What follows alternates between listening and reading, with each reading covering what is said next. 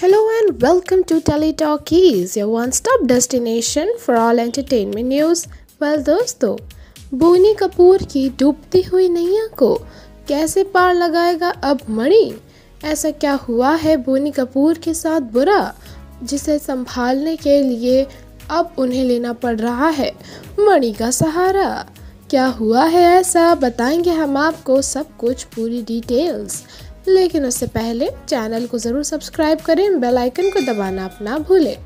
Well दोस्तों नन्हा सा माँ का लाडला, राजा बेटा मणि, उसकी आवाज़ जितनी मधुर है, उसकी पॉपुलैरिटी उतनी ही ज़्यादा है।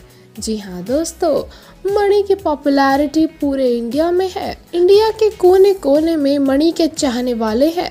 इसी वजह से अब बोनी कपूर को मणि का सहारा लेना पड़ रहा है। हाल ही में अर्जुन कपूर आए हैं सुपरस्टार सिंगर सीज़न टू में।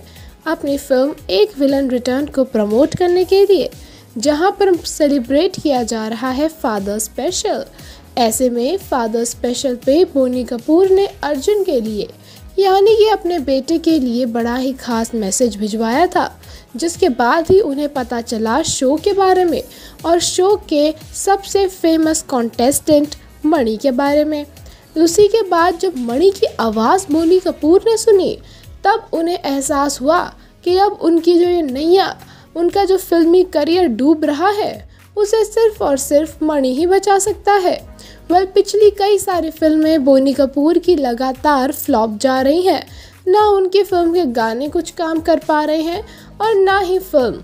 ऐसे में मणि की पॉपुलैरिटी को देखकर बोनी कपूर ने बड़ा फैसला लिया है कि वो मणि को अपनी फ़िल्म के ज़रिए लॉन्च करेंगे और साथ ही साथ उससे अपनी फ़िल्म के कई सारे गाने गवाएँगे, ताकि उसकी पॉपुलैरिटी के ही चलते ही सही उनकी फ़िल्म तो हिट हो जाए। वेल आप लोगों के क्या रिएक्शंस हैं? कमेंट करके ज़रूर बताएँ। वीडियो को लाइक और शेयर करना अपना